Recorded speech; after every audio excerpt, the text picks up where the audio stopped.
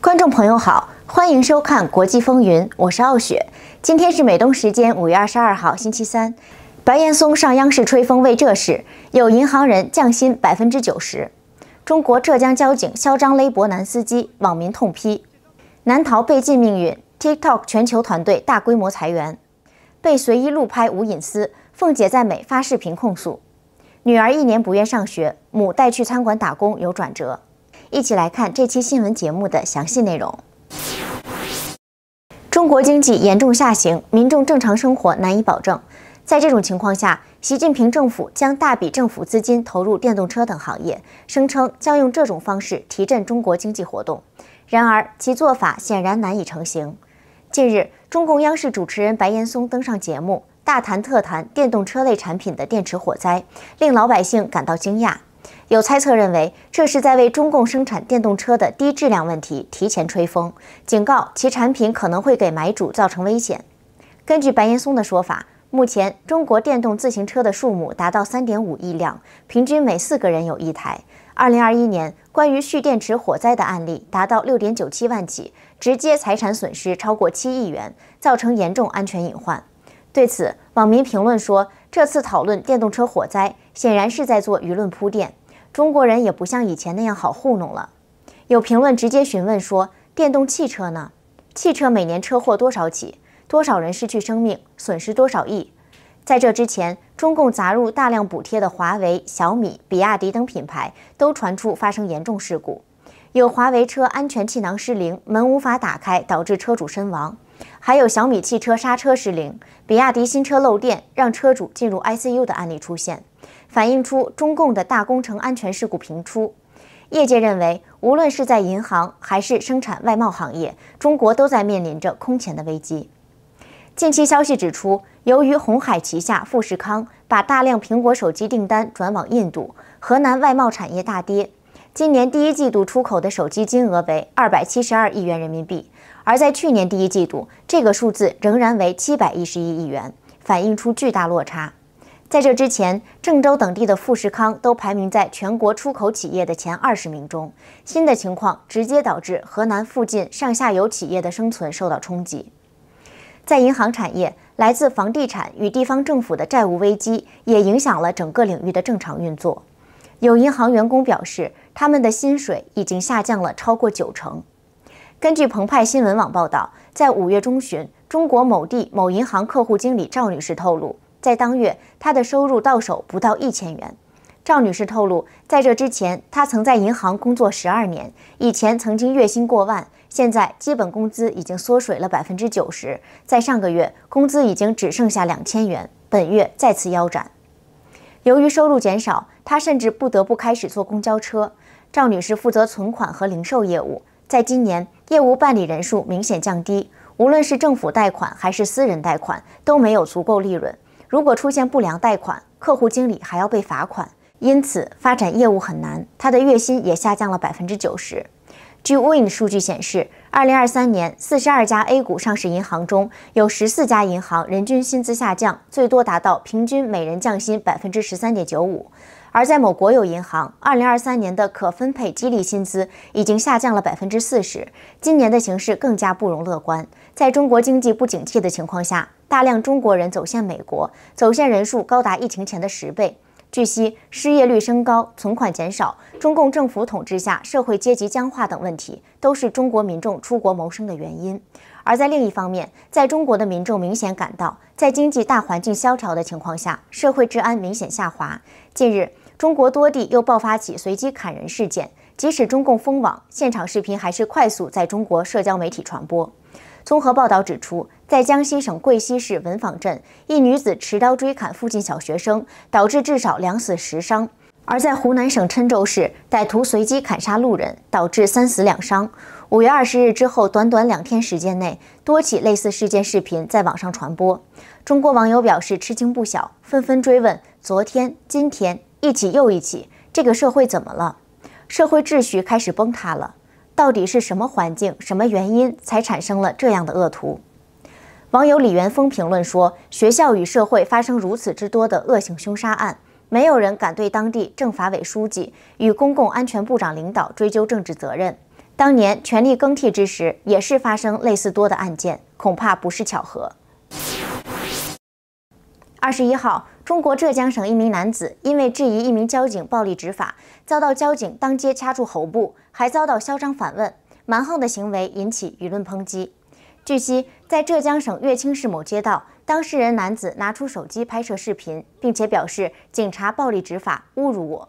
对面的交警直接走过来阻止他拍摄，猛然用手掐住男子脖颈，还说：“警察暴力执法是吧？还报不报？报不报？”在遭到交警锁喉之后，该男子无法说话，也呼吸困难。经过网友调查，发现对男子施暴的交警是三级警督，警号为零三九五九五，并不是辅警。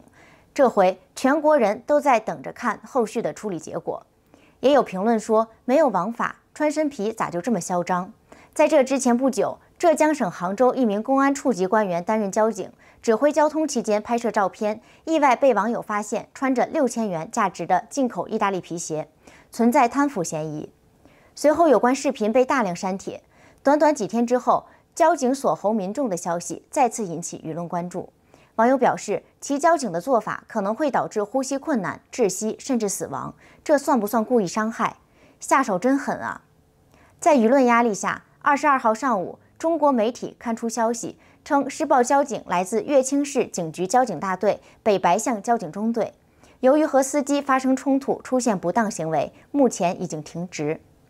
而网友则继续质疑说，锁喉只能算不当行为，这是违法，故意伤害。还有网民指出，处理显然不当，到底停职多长时间根本没说，应该取消编制。对于中共交警登上热门的消息，X 平台账户评论说：“当一个政权失去公信力时，无论他说什么、做什么，都会被民众视为谎言和欺骗。”二十二号发布的消息指出，由于难逃在美国被禁止的命运，字节跳动旗下的 TikTok 平台正在计划在全球领域团队进行大规模裁员。据悉，营运和行销人员将会首当其冲。负责用户支援、沟通以及内容的团队成员也会被削减。作为裁员的一部分，TikTok 目前多达一千人的全球用户营运团队将被解散，没被解雇的员工将分配到公司的信任与安全团队等多个部门。信息报与 CNN 等媒体报道了这个消息。知情人士称，在二十一日晚间，该公司营运主管普莱瑟和首席品牌传销官穆查。向受影响的团队发送了一条讯息：部分 TikTok 员工收到了裁员计划的通知。一名员工告诉媒体说，TikTok 的裁员已经酝酿了一段时间，已经将近一年。该人士补充说，此次裁员与该公司在美国面临的法律和政治动荡无关，只是一次内部调整。然而，外界认为，由于美国国会通过提案。强制 TikTok 脱离母公司字节跳动，这个应用程式面临在全美范围内的禁止令，显然会影响 TikTok 在海外市场的生存状态。二零二三年，TikTok 报告显示，企业在美国保有七千名员工。媒体消息指出，在这次裁员行动的影响下，至少数百名人员遭到解雇。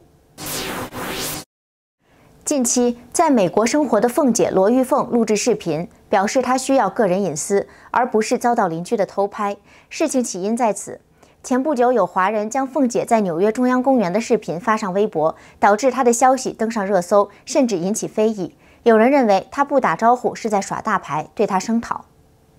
对此，凤姐专门录制视频，呼吁路过的网友尊重她的生活隐私，不要总是追着她偷拍，然后在中国的社交媒体发布，引起评论。那样的指指点点让她感觉很不好。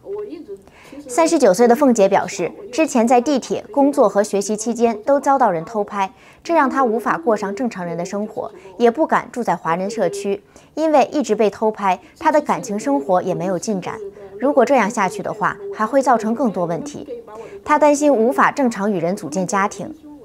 凤姐说自己只是想过上一个平静的生活，虽然自己长相其貌不扬，但是同样保有拒绝被拍摄的权利。恳请不要再继续偷拍，伤害她的生活空间。此前引发舆论的北京资讯号报道，抨击凤姐关于出国就没打算回来的言论，并嘲讽她在美国活成了笑话。而在微博相关评论区，大多数网友留言对凤姐表示理解。有网民表示，那些嘲讽的人自己房贷下个月还没着落呢，还笑凤姐，有啥资格碰瓷凤姐？凤姐的见识甩他几十条街。浙江公众号眼睛秀才则评论说，不，她没有活成笑话，笑话她的大部分人活着的样子才是个笑话。凤姐活成了包括我等很多人渴望的模样。此前，凤姐在国内账户全被封杀的情况下，直接选择出国，并且在纽约大学就读了学位。对此，网友评论说：“他作为一个收银员，能够靠自己一步一步到达美国，能够在美国的高校读书、自力更生，已经比评论区嘲笑他的那些人强一百多倍了。”网络时代，各种诱惑过多，而青少年的脆弱心理可能会受到外界事物的影响。